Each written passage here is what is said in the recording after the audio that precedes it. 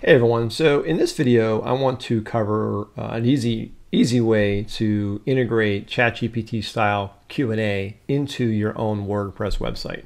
Uh, I've done a bunch of videos where I show you how to integrate assistants and custom GPTs uh, and how so more complicated, more coding. This one really doesn't involve any coding at all. This is really specifically just kind of using a tool uh, to do this or a plugin uh, is the terminology for WordPress. All right, so my travel site is what we're going to demonstrate here. I've just kind of created and chose one of the existing themes and it's just a travel look and feel to it. So I'm going to put a little chatbot down here and that will integrate back to ChatGPT.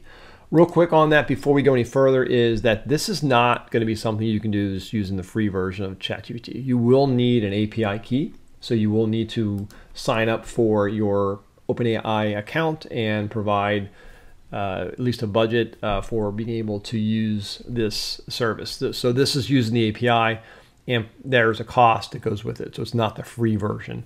Um, having said that, you can choose a very inexpensive model, which I'll show you how to do.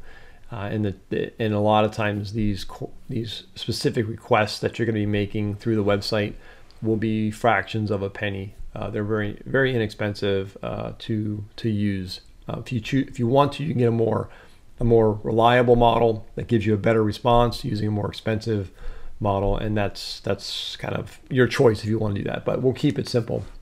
But you definitely will need to have an API key. All right so what we're going to do here to get started is we're going to come back to our WordPress site. We're going to come down to plugins. We're going to add a new plugin and come up here and type in AI engine. That is the plugin we're looking for and here it is. It's by a person named Jordy Meow. This particular person does have kind of a cat theme going on and offers a lot of different tools or, or plugins. Uh, this one specifically is the one we're talking about, but there's much, much more that he offers. Uh, so definitely want to check it out if you're interested. All right, so go ahead and install that, activate it, and once it's activated, you'll see the Meow apps here. We're going to pick the AI engine. All right, and this is the dashboard that lets you configure your chatbot and other things that you can do if you want to go with the pay version. So you can hook this into Assistants, or you can add embeddings. If you want to use your own search retrieval embeddings, some of the things you can do through the custom GPT screens, you can kind of simulate and do the, actually the same way through their through this tool. So which is kind of cool. But I'm using the free version. I just kind of want to show you how to quickly get this going. Uh, so what we're going to do is we're going to come over to chatbots, and we're going to click on the chatbot and uh, so I already had done this before, so my particular prompt is in here. So I'm I'm going to customize the prompt that we want this chatbot to use as its rules for how it's going to behave. For specifically, I'm going to only focus on Banff National Park. All right, so that's the only thing that this chatbot is going to be able to answer.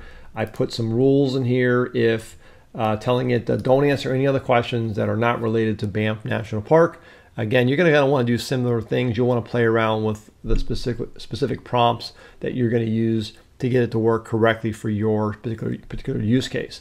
All right, so I don't want to asking questions about anything other than Banff. All right, so I want to kind of keep it keep it that way, and that's kind of how you do that is by providing that context to your prompt. Okay, so you would have to set that up based on your, your use case. You're also going to want to set the model Okay, so I have chosen the 3.5 turbo model, which is really inexpensive, fractions of a penny uh, to make these requests. Uh, if you want a more reliable model that's newer, you can obviously choose one like GPT-4 Turbo, and but there will be a slightly more enhanced uh, cost for doing that. All right, your call on that one. But to keep it simple, I'm going to keep this one at that version.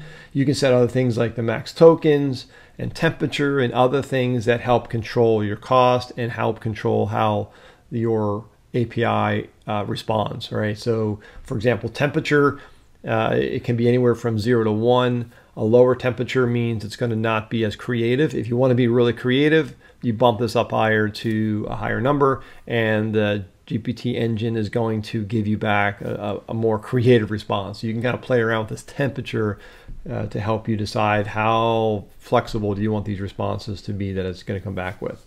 All right, and there's a lot of other things. Appearance, you can set the appearance. Uh, you can have it look like iOS, like I have here, or I can use the the GPT version of it. I kind of like the the iOS version, so this is the look and feel that you're going to see with it. And then you can you can set up different rules for how you want to start the sentence and the conversation and what for. All right.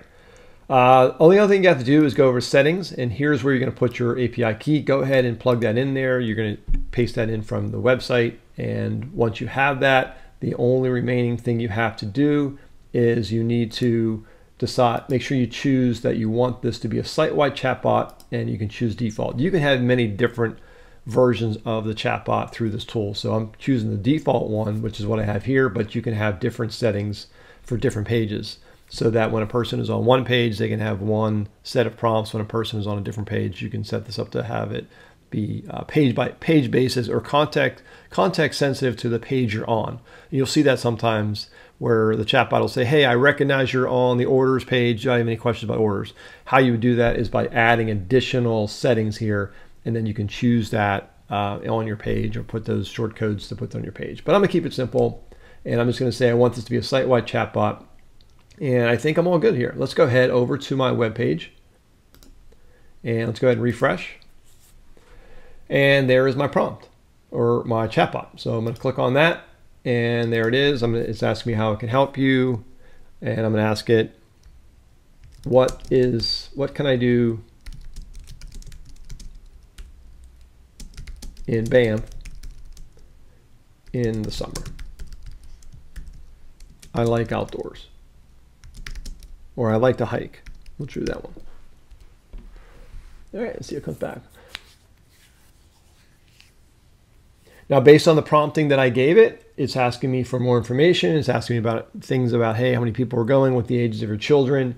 That is controlling how this thing is going to respond. I didn't want it to just respond back with, you can, here's all the things you can do. I kind of wanted to treat it as though this were a real person back there trying to get gather more information about the, the, the family or the or the or the couple, whoever's or traveling, so that you can kind of really kind of simulate more of this conversation back. So it's telling me the age range of the children. Uh, I'll say um, we'll say 10 years or we'll say 10, 10 years. Let's see what comes back with. And it's actually fairly quick. The 3.5 turbo model is very is fairly quick. Uh, and the response you get back is not bad, right? But obviously, if you chose the 4.0 or GPT-4 model, it's going to be a little slower, but you're going to get back a more reliable answer. And sure enough, there you go. Great way to start. 10 year old, you have plenty to do, and it's giving you some ideas. So there you have it. This is how you can quickly add that in there. You can take this any direction you want. If you want to go and pay for the pro version, you can have access to your assistants and things like retrievals and documents. If you found this useful, please like and subscribe. If you have suggestions on other videos you'd like to see me do, uh, please put those in the comments. I'd be happy to think about it. All right. Thanks for watching.